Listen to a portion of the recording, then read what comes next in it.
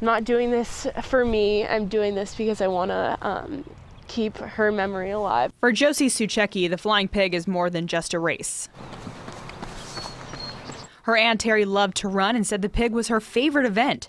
But eight years ago, Terri died doing what she loved most. Suddenly, she had a heart attack at 50 and just was running, and it was almost like losing like a second mom.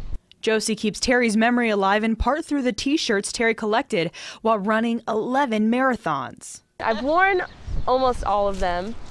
Um, there are a few that are a little special that I haven't worn that it's just like she was the last person to wear them and so it's hard i don't want to wear them yet because it's still it's still not such a nice memory to have of her josie will wear her aunt's special shirts when she runs the skyline chili three-way challenge for the very first time so now i'm excited to have like a bigger city feel um, cheering like cheering fans and just kind of seeing like the fun of the city Josie wants to complete the Flying Pig before she graduates from UK in May. She knows she can achieve her goal by using her aunt's memory as motivation. Do you think that um, your Aunt Terri would be proud of you?